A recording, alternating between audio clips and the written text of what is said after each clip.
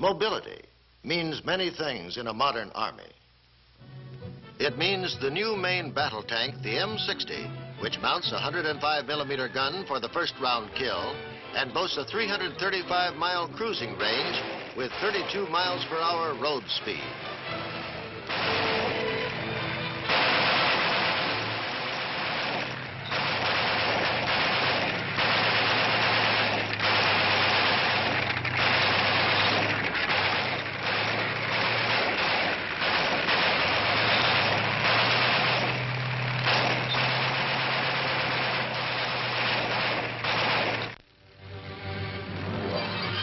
Mobility means the radically improved armored personnel carrier, the M113, which meets the requirements for rapid movement in all kinds of weather and terrain and protection from shell fragments and small arms fire.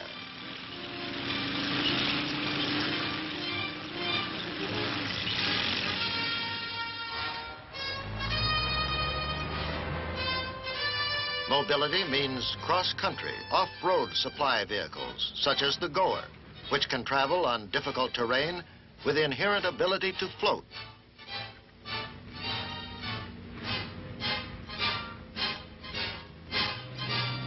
Mobility means the amphibious LARCs, carrying troops and weapons with a water speed of 10 miles per hour and a land speed of 30 miles per hour.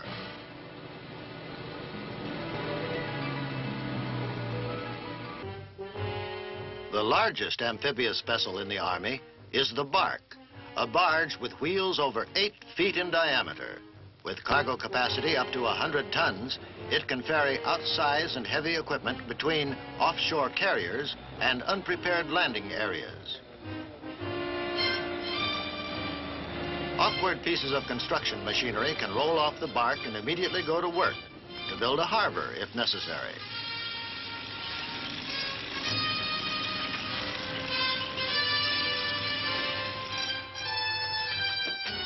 200 men, complete with their combat gear, can be transported by the BARC on land or sea.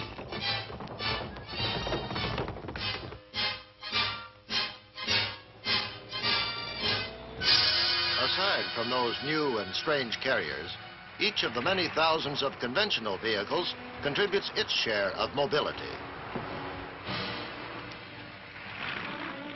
Mobility also means Army aviation. Some 5,000 aircraft serve Army aviation today. The number will be increased substantially according to foreseeable requirements.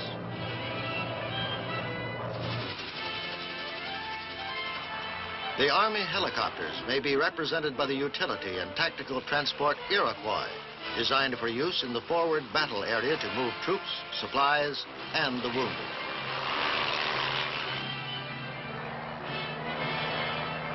And the twin-engine Chinook with rear ramp to handle missiles and other lengthy cargo.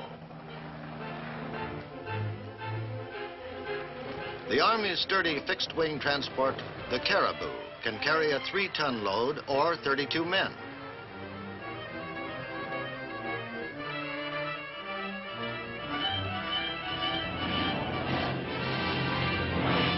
It has the remarkable ability of short takeoffs and landings on unprepared airfields.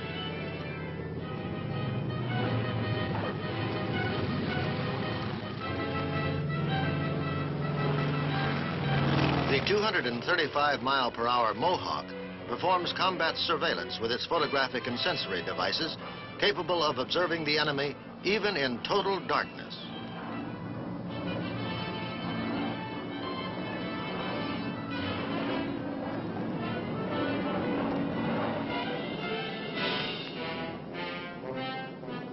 And of course, mobility means airdrop.